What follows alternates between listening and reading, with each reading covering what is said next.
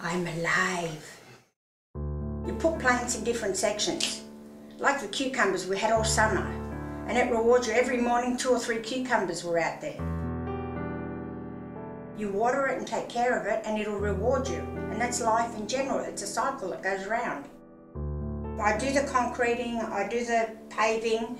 It gives me the biggest satisfaction out and painting. Just to be different. I go in all our street, no one's got painted bricks. And then I go, I know that house, it's mine.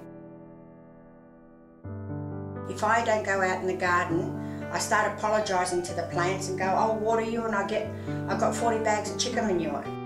I don't know the guy's name, but I call him Chicken Manure Man. And when I put the manure in, I see the plants grow bigger. I would have most probably committed suicide if I didn't have my garden. My art is I can create in a garden, rotate the plants, crochet, do a blanket with all different squares, but I can actually say I made it. No one helped me. I made it myself. No one can take that away from me now. Now, when I've got excess fruit, I put it on the footpath and say, help yourself. And it gives me the biggest thrill to give it away. Not for someone to take it away from me and say, you're not entitled to it. And I get rewarded.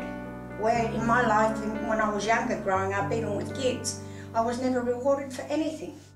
Well, they used to call it that room near the kitchen, and then I christened it, not last night, the night before. I go, um, they call it the glass house, but a couple of weeks ago, the boss came and said, oh, I've got a bit of money for it. And I go, nah, I'm Greek.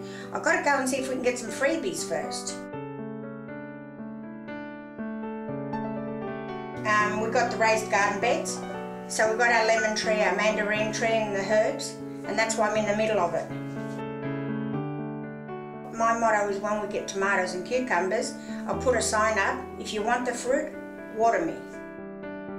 I also collect um, wool and crocheting bits. I carry my crocheting everywhere, it's part of security. If I didn't, at one time when we came to Arts Access, I didn't have it, I went berserk. It's part of security. And I like walking in when the plants are established and say, hi guys, how you going? Do you need water or fertiliser? They talk to me. I know it might sound crazy, my plants talk to me. I'm really centred when my feet and hands are in the dirt. I remember when I started my garden a few years ago, I had a bit of dirt and I'm chucking the dirt up in the air and saying, I've got dirt, I've got dirt, I'm alive. Made me feel so good. And I know it's only dirt, but a lot of people will say it's only dirt. But to me, it means a lot. It makes me feel good when I've got something going. That my life's not wasted that I mean something to the world. If I didn't have my gardening, I don't know what I would have done. When I'm on a low, I can't, I don't go outside at all.